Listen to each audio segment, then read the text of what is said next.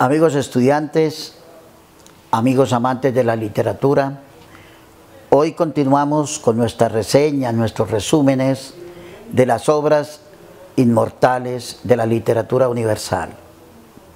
Hoy vamos a hablar de un personaje de Estados Unidos, el señor John Steinbeck, un hombre que nació en California en el año de 1902 y murió en Nueva York en 1968. Pues vivió 66 años, de familia pobre, estudió en la universidad y no pudo salir por cuestiones económicas, inclusive le tocó ser trabajador, constructor en el Madison Square Garden de la ciudad de Nueva York como obrero raso. Y en 1929 John Steinbeck escribe su primera novela. Su título, La Copa de Oro, pero fue una novela que no le dio mucho auge, no lo dio a conocer. Solo en 1929, perdón, en 1936, escribió una novela que se llama De ratones y hombres. Y esta novela ya lo catapultó, lo hizo sobresalir de la literatura y es una novela que habla de la depresión económica que se sufría Estados Unidos y la vida de las personas pobres. Ya muy conocido de esa gente que busca trabajo, que no le encuentra, que le toca dormir en las calles, que le toca vivir con mucho sufrimiento y por eso la, la tituló de ratones y hombres. Hombres como ratas. Ya en 1939, tres años después, escribió su mejor novela, se llama Las uvas de la ira. La novela que analizaremos más adelante y fue una novela también que ya lo hizo mucho más famoso, criticando inclusive al capitalismo norteamericano. En 1952 escribió Al este del Edén. En 1947 escribió una pequeña novela que se llama La Perla basada en una leyenda mexicana. Esa es la novela que vamos hoy a hablar, La Perla. Ganó el premio Pulitzer en Estados Unidos y ganó el premio Nobel de Literatura en el año de 1962. De tal manera que la novela La Perla, escrita en 1947, es una novela simple, es una leyenda mexicana, pero él con su maestría le da unas, unas dotes y una figura literaria muy hermosas. Es la historia de un matrimonio compuesta por gente de origen indígena. El señor se llamaba Quino, la señora se llamaba Juana y a su hijo le decían Coyotito. Además tiene él un hermano que se llama Juan, Juan Tomás y su esposa Apolonia vida simple. La señora se levantaba todos los días a hacer las tortillas, las tortas que hacen los mexicanos, pero el autor hace sinestesias increíbles. Usted leyendo la novela, leyendo la señora cocinando, como que siente el olor de las tortas que hacía en la cocina. Figura sinestesia donde traslada los sentidos. Ahí está la magia del señor John Steinbeck. Y una mañana, la señora estaba haciendo el desayuno, el niño, Coyotito, estaba en la cuna, cuando empieza a bajar un escorpión grande, hacia, directamente a la cuna del niño, directamente. Su papá aquí no lo alcanza a ver y se lanza hacia el escorpión pero el escorpión le cae al niño en el hombro y lo alcanza a picar. Quino lo destruye con las manos, pero el niño es picado por un escorpión que en esa época podía ser para un niño mortal.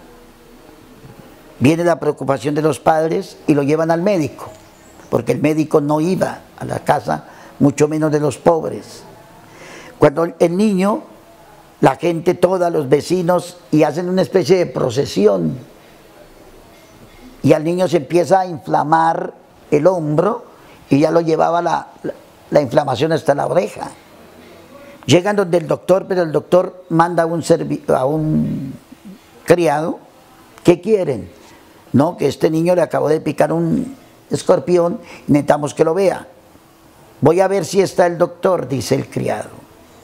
Y va y le dice, doctor, ahí hay un niño campesino que le picó un escorpión. Doctor no se inmuta y dice, ¿cómo? ¿Un escorpión? A mí aquí parece que yo fuera un veterinario y no fuera un médico. Dígale que cuánto dinero tiene. El señor criado vuelve y le dice, ¿usted cuánto tiene? Quino saca del bolsillo una pequeña, un papel todo arrugado, lo abre y ahí había unas perlas, pero basta, digamos así. Y le dice, espéreme un momentico, y va se la lleva al médico. Y el médico dice, esto no vale nada, dígale que no estoy. El criado vuelve, le dice, no, el médico salió, no hay nadie. Y es tanta la rabia de Quino, el papá, que le pega un puño a la verja y se rompe los dedos. El niño vuelve a la casa, le hacen lo que vulgarmente llamamos remedios caseros, pero subsiste normalmente. Pero veamos lo que pasa. Quino de qué vivía? Quino vivía con unos pescadores pero no de pescado mucho, sino pescadores de perlas. Iban al mar todos los días, cogían las ostras y a veces cogían perlas valiosas. Y ese día, con el niño todavía enfermo de la picadura del animal, el escorpión se va con su esposa y se bota al mar y encuentra la perla, una ostra inmensa, la abre y encuentra la perla más hermosa que jamás alguien haya conocido. Del tamaño de un huevo de gaviota. Hermosísima, con un brillo impresionante. Y le dice a su esposa, mira, somos ricos. Bueno, y el cuento se riega por todo el pueblo, hasta donde el médico, si el médico sabe que se han encontrado una perla fabulosa, Dice, ay, se lo encontró el papá del niño que es mi cliente, cuando ni siquiera lo conocía, lo había visto. Kino y su esposa empiezan a soñar y le preguntan, ¿y usted qué va a hacer con esa perla? Le dice, me voy a casar. Le compraré a mi esposa el vestido más hermoso, le compraré zapatos al niño, a Coyotito, compraré ropa fina y me voy a casar. Voy a ser rico, el niño va a ir a la escuela. Y le llega a su casa el médico y le dice, ¿cómo sigue el paciente? Le dice, no, el paciente ya se ha sanado un poco. Dice, déjeme verlo. Y lo ve y le dice, no señor, ese niño tiene todavía el veneno por dentro y es posible que dentro de una hora el veneno le haga efecto. Y lo convence. Y le da al niño un, polvo especial. Y Kino empieza a sospechar, pero bueno, ¿y eso por qué? Dice, dentro de una hora le llega el efecto. Y preciso, se va al médico y el niño empieza a vomitar. Pero no era por el efecto de la picadura, sino por el polvo que le dio el doctor para que el niño vomitara. Y vuelven y lo llaman. Y cuando llega le dice, no, ya el efecto le hizo, ya el veneno le hizo efecto, de tal manera que el niño va a seguir viviendo. ¿Y cuándo, y me paga? Por salvarle la vida a su hijo. Y le dice, cuando venda la perla, si quiere yo se la guardo. No, señor, no me la guarde. Llega un cura también a visitarlo hijo mío, tú tienes nombre de un santo y espero que con esto que has encontrado ayudes a la iglesia y a Dios. El pueblo, en lugar de alegrarse, de sentir alegría porque uno de sus habitantes se había hecho rico con la perla, empieza a tener la envidia. Los ladrones empiezan a mirar cómo le quitan la perla los estafadores a ver cómo se la compran barata. Y el Señor se va ese día se viste como para el matrimonio con su mejor ropa. Dice en el pueblo compraré un sombrero de fieltro, me voy a casar y se va a vender la perla. Y eso parece una procesión. Todo el pueblo lo seguía, pero llegan a donde están los compradores de perlas y ya estaban avisados y se habían puesto de acuerdo. Y uno le dice, no, esa perla usted no la puede vender, eso es muy grande y fea. Cuando mucho le doy mil pesos. no le dice, pero esto vale más de yo, toda la vida he sacado perlas, esto vale más de 50 mil. No, señor, fea. Vaya donde otros, lo mismo. Otro le ofrece 500 y el más que le ofrece son 1500 pesos, que para ellos era mucho dinero, pero no era lo que valía la perla. Lo iban a estafar y él dice, yo no me dejo estafar, no la vendo. Y se vuelve para su casa y empieza la situación conflictiva. Entierra la perla, la entierra, y por la noche siente unos pasos y llega un ladrón a buscarla, a robarla, y lo golpea y lo hiere.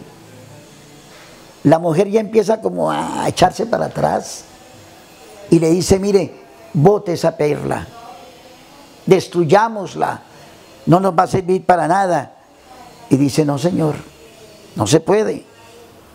Y ella le dice, esto es algo maldito, esta perla es pecado, destruyela, bótela. Si tú no lo haces, lo hago yo. Y así continúa la situación, el niño se cura perfectamente, pero él dice que no vende la perla y que más bien se va a la ciudad a venderla, se va a ir a otro lugar. Y una noche otra vez llega un ladrón y le pega una cuchillada, lo hiere por robarle la perla y la señora ya no se aguanta más con eso. Y también una noche coge la perla y se va corriendo al mar a botarla y Quino detrás de ella. Y entonces la alcanza y golpea a su esposa, le rompe la cara y le quita la perla. Y ella en ese, en ese terrible problema y nuevamente llegan a robarlo y Quino mata a un hombre. Lo mata. Y en la pelea se le cae la perla y la mujer con la cara herida todavía la encuentra y él ahí sí se va destruido para su casita. Y ella dice, mire, yo la encontré, tómela. Y eso que iba a votar, al verlo en la situación herido con la cuchillada, le vuelve la perla. Pero mire lo que encuentran, su canoa se la habían destruido, la casa se la habían quemado. Ya la situación y le dice al hermano, resguárdeme, cúbreme, porque yo mañana me voy para la ciudad o esta noche. El hermano lo cuida y él se va para la ciudad a vender la perla, a casarse, a ser feliz. Pero la situación no se da, lo persiguen tres personas para robarle la perla. Y él está en el monte, en la loma, y los ve y le dice, mire, allá vienen los estafadores, los traficantes, me van a, a robar esta noche tengo que emboscarlos porque si no nos matan. Yo compraré un rifle en la ciudad después para defenderme.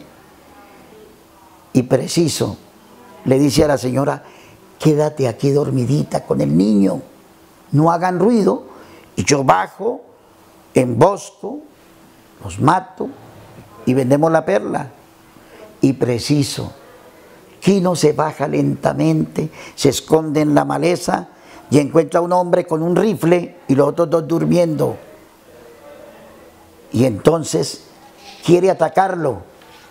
De pronto se oye un ruido, un grito, un llanto, y el hombre del rifle dispara.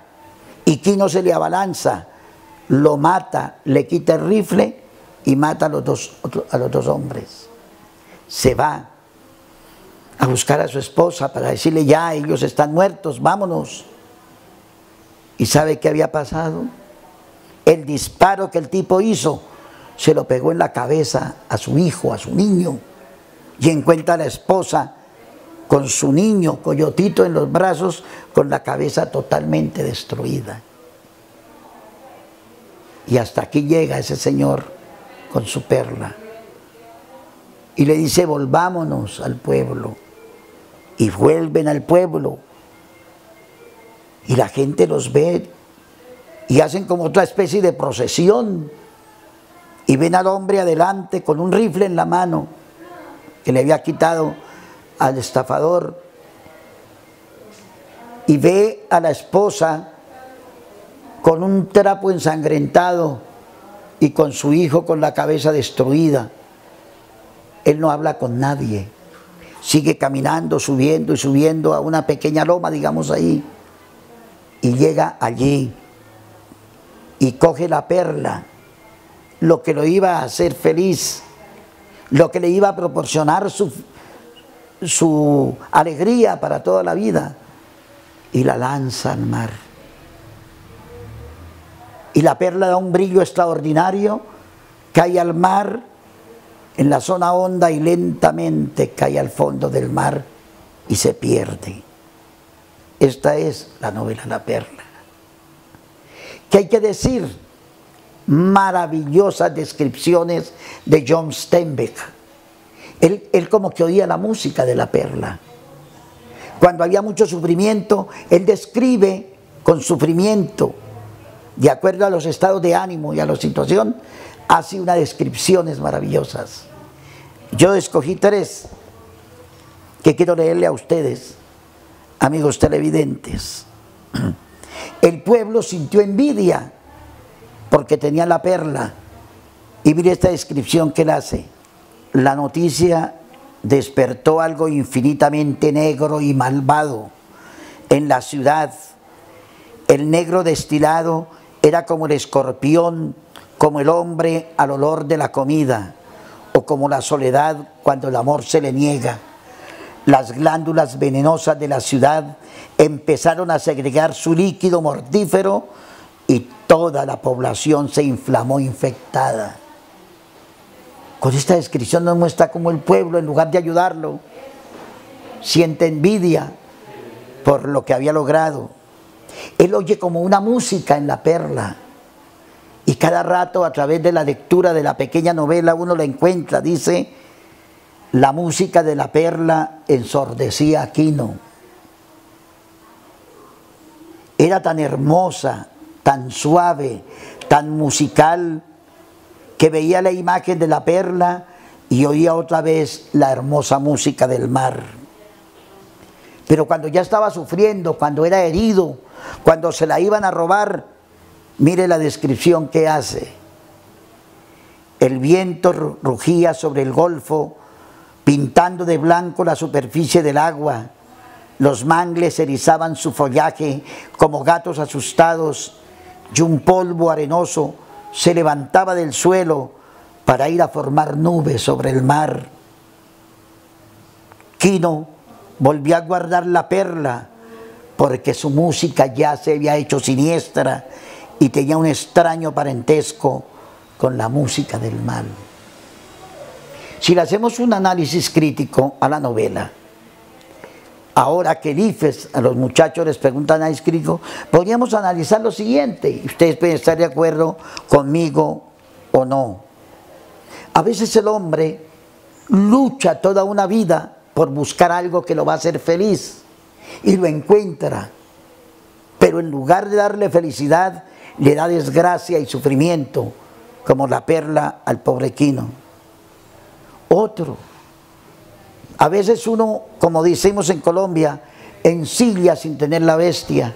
Ella pensaba en comprar un vestido, en que su hijo iba a estudiar, en que lo pondría en el mejor colegio, en que tendría la mejor casa. Y uno no puede pensar antes de tener la situación. El pueblo y la envidia. Muchas personas que son amigos de uno, cuando uno logra la felicidad, en lugar de alegrarse, le sienten envidia, odio, y eso pasa en muchas partes. Los sueños frustrados, a veces uno sueña algo bueno y le resulta todo negro. Hay mujeres que duran toda la vida buscando el amor de un hombre y lo encuentran y no pueden disfrutarlo. Así que amigos, espero que estas enseñanzas de esta maravillosa novelita de John Steinbeck Silva para algo porque es una novelita de la literatura universal. Muchas gracias.